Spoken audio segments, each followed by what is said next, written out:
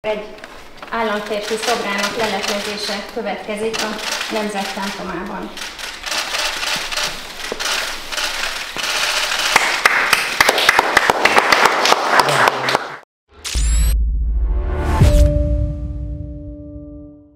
Nem kísérte érdemi intézkedésként a csendőrség visszaállítása, de a Mi Hazánk mozgalom nem adja fel a horti korszak lenyűgöző gazdasági fejlődését és meg nem alkuvó nemzetpolitikáját több szempontból is példának tekintve szobrot állít az országházban Horti Miklósnak, valamint határozati javaslatot nyújtottunk be ma, hogy a második bécsi döntés évfordulóját, Észak-Erdély visszacsatolását a hazatérés napjává nyilvánítsa az országgyűlés. Miközben a baloldal a 3 per 2-es Horn Gyuláról és a fehér ellenes terrorista Nelson Mandeláról nevezel közterületet, szükségesnek tartjuk kinyilvánítani, hogy bár utolsó kormányzók munkásságát lehet kritizálni bal és jobb oldalról egyaránt és akár jogosan, de a horti korszak elmúlt, Hortikorszak 25 évét összehasonlítva a rendszerváltás óta eltelt évtizedekkel egyértelműen szoborért kiállt. A két világháború között gazdasági világválság, világszerte több tízmilliónyi halálos áldozatot követelő valódi spanyol nátha járvány, és hát főként Trianon sújtotta az országot. Horti mégis virágzásnak tudta indítani, lenyűgöző gazdasági fejlődést és kulturális persgést produkálva. Hiánypótló kezdeményezésünk azt célozza, hogy az országház kupola termében a nemzet nagyjainak szobra helye, mellett helyet kapjon utolsó kormányzónk is. Ahogy a monarchia idején épített parlamentben mellőzött Rákóczi Ferenc később a horti korszakban csak kapott csak emléktáblát ott, úgy azzal szemben lehetne egy hasonló márványlap. Ezt hetekkel ezelőtt kezdeményeztük Kövér Lászlónál, aki nem is válaszolt, de egy hete korrekten tájékoztattuk arról is, hogy ma egy szobrot fogunk állítani Horti, Hortinak a Mi Hazánk országgyűlési alelnöki irodájában, a Szent Korona közelében. A házelnök tegnap váratlanul kitiltotta a Mi Hazánk Horti szobor avatásáról szóló sajtótájékoztatóját a nyilatkozatokra kijelölt szokásos helyszínről, a kék társalgóból, ahol baloldali képviselők is bármiről tartatnak sajtótájékoztatókat. Így a Szent Korona melletti helyiségben nem kerülhet sor erre az avatást megelőző eseményre. A DK vezetésével pedig azok háborognak most a legjobban a Horti szobor miatt, és akarnak leckét adni nekünk abból, hogy mit lehet és mit nem lehet egy közintézményben, akik ha tehetnék, állandó jelleggel szivárványszínű zászlót tűznének a parlamentbe.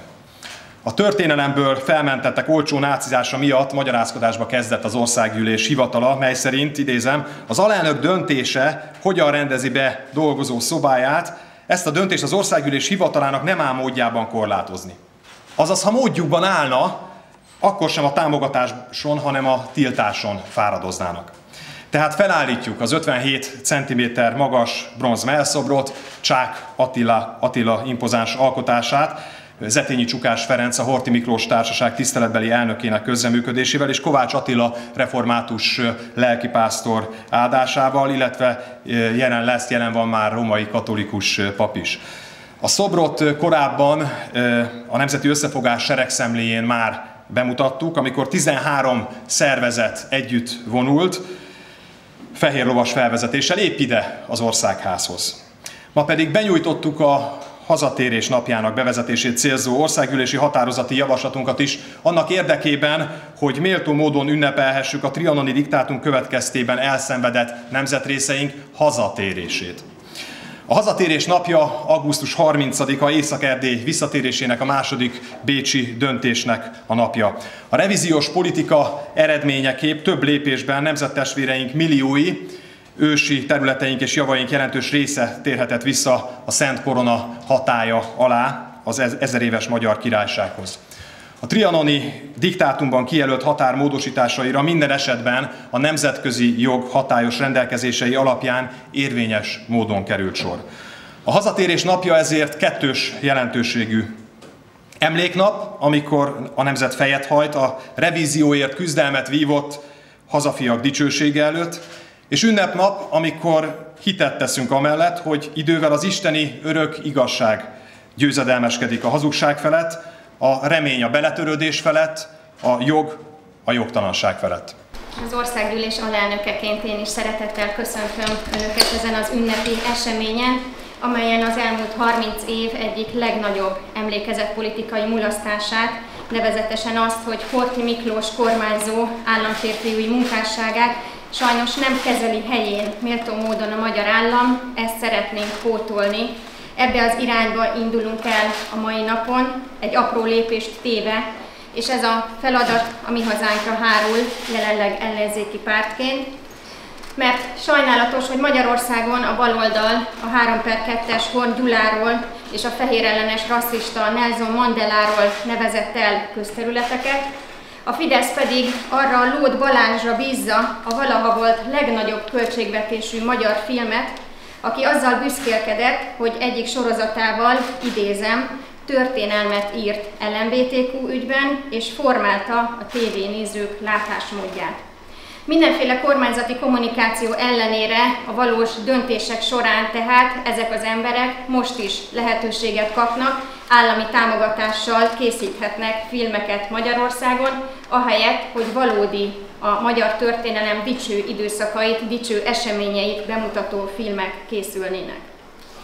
A horti korszakra több szempontból is érdemes emlékeznünk és példaként tekintenünk, ugyanis egy rendkívül nehéz helyzetben volt Magyarország. Az első világháború épp hogy véget ért, világválság is, gazdasági világválság is sújtotta ezekben az évtizedekben Magyarországot is, és a nemzetünk legnagyobb tragédiája, a trianoni békediktátum ránk erőltetése után került Magyarország élére Horti Miklós kormányzóként. Mégis gazdasági fejlődést és kulturális megerősödést tudott felmutatni ebben az időszakban a magyarság, és olyan államférfiak vezették ekkor hazánkat, nemzetünket, mint amilyen például Klebersberg Kuno, akinek a képe szintén megtalálható az irodámban, nem véletlenül oktatás és kultúrpolitikával is foglalkozó képviselőként rendkívül fontos példa számomra ő is, ahogyan egyébként az 56-os kormányközi parancsnok Pongrácz Gergely szintén megtalálható az ő képe az irodámban. Egy államférfi szobrának leleplezése következik a Nemzet templomában.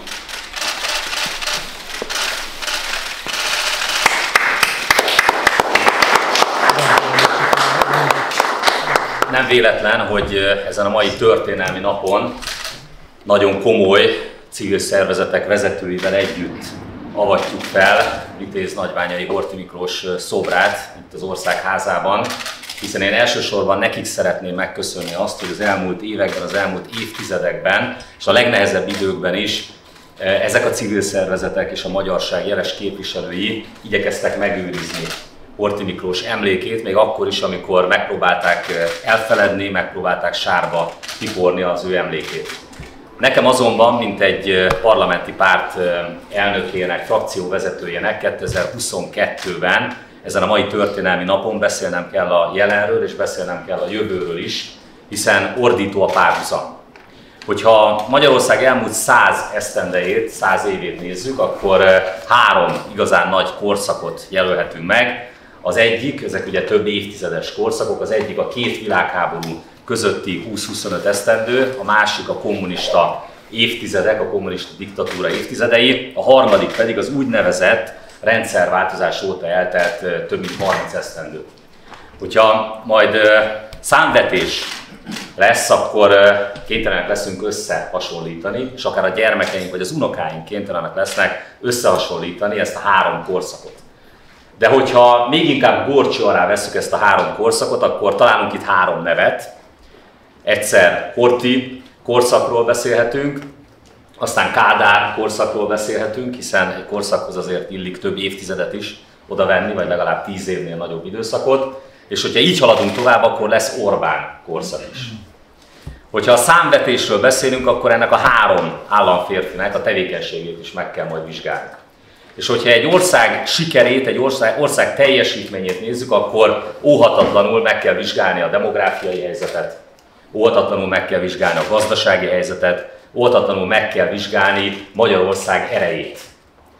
És bizony ebben a versenyben az elmúlt 30-32 esztendő nagyon rosszul teljesít. De tovább megyek, hogyha továbbra is Orbán Viktor vezeti Magyarországot, akkor tényleg Orbán korszakról beszélünk. Az Orbán korszak sem teljesít jól, hogyha ezeket a mutatókat nézzük, akkor kifejezetten rosszul teljesít. Ráadásul ez alatt a 12 esztendő alatt sem sikerült rendbe tenni a múltunkat. És elérkeztünk 2022-ben egy olyan időszakhoz, ami sok szempontból hasonlít a két világháború közötti időszakra. Most nem spanyol nátha van, az legalább természetesnek tűnt, hanem eh, most koronavírusra hivatkozva tették tönkre, illetve teszik tönkre Magyarországot és a félvilágot, és hát emellett eh, most már szintén beszélhetnek, vagy beszélnek is háborúról, beszélnek energiaválságról, élelmiszerválságról, és ebben az időszakban bizony eh, a magyarságnak lelkileg meg kell erősödnie, és nekünk, mint parlamenti pártnak, és nekem, mint egy parlamenti párt frakció vezetőjének elsősorban azért kell erről beszélnem, mert a magyarságnak fel kell készülnie, lelkileg meg kell erősödnie, eh, hiszen nagyon komoly küzdelmek, nagyon kemény munka áll előttünk, hogyha szeretnénk legalább hasonló teljesítményt elérni, mint ami Horti Miklós ideje alatt Magyarországon történt hiszen eh, világháború után volt Magyarország, a gyalázatos tanácsköztársaság után volt eh, Magyarország, ország csonkítás után volt Magyarország, és mégis a két világháború között még Horthy Miklós ellenségei is kénytelenek elismerni, hogy Magyarország talpra állt, sőt fejlődő pályára állt. Nagyon jó lenne, hogyha 2022-ben azt mondhatnánk, hogy most is erre van esély.